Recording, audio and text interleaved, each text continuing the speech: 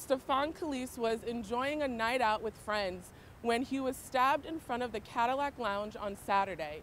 And now he leaves behind a four year old daughter and a family who's searching for answers. The anti Semitic note was found by a staff member at the center. That's a place for Jewish people to gather and celebrate. It left many students shaken, especially after the anti Semitic comments made by Kanye West on social media.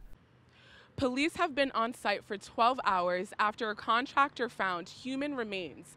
Now, police describe it as uh, skeletal remains found in the area between Sheridan Street and Broad Street and Central Falls. Now, as you can see behind me, there is a white tent and a dirt pile, which is where police are focusing their investigation.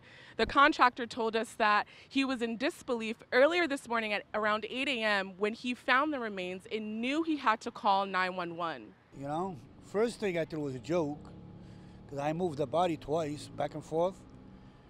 And when I moved the body one side, I thought it was a joke. I don't think, you know, not, not to happen. Then I grabbed the head I moved to the other side. Then I kicked it, like flipped it. I see the teeth and the eyes. I said, oh, this is a human being. That's when I called the cops. Now, there's no saying exactly how long the remains have been there, but police do believe that they have been there for a while. They're still on site investigating, and we are working to find more information. Reporting in Central Falls, Ariel Dorsey, 12 News. Gun violence is a major topic of discussion tonight at Rhode Island College, just a day after the latest school shooting at the University of Virginia. Gun violence makes a ripple effect throughout a community, a school, a workplace, and it indelibly changes the lives of loved ones left behind. Rhode Island College holding a discussion on gun violence.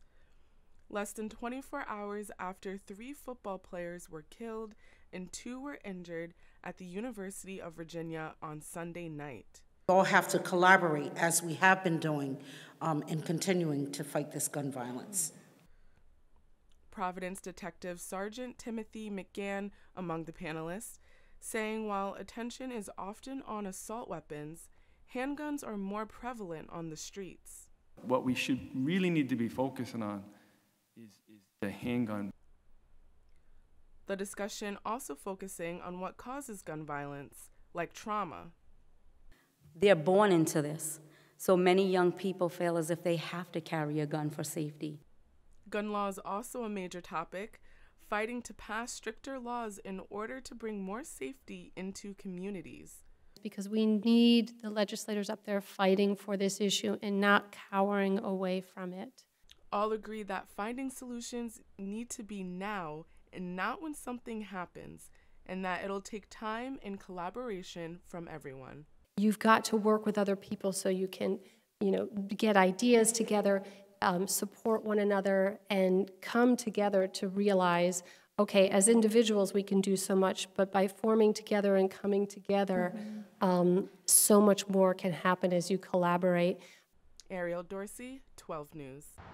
The general elections are just a few weeks away, and candidates are out again today sharing their platform before voters head to the polls. The race for Rhode Island's next governor is heating up.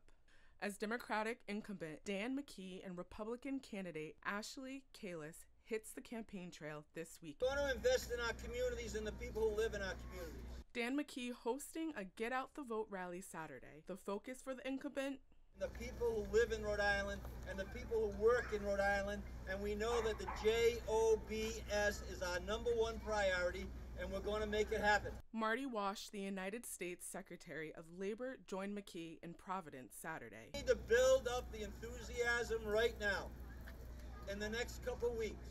While the First Lady of the United States, Dr. Jill Biden, will be in town for a McKee event on Wednesday. Something McKee's opponent, Republic Ashley Kalus, says is a sign of nerves ahead of the election. Desperate campaigns do desperate things, and that's what we're seeing with uh, Dan McKee. Is he needs to bring in folks from D.C. to help him because he has no record to run on in Rhode Island.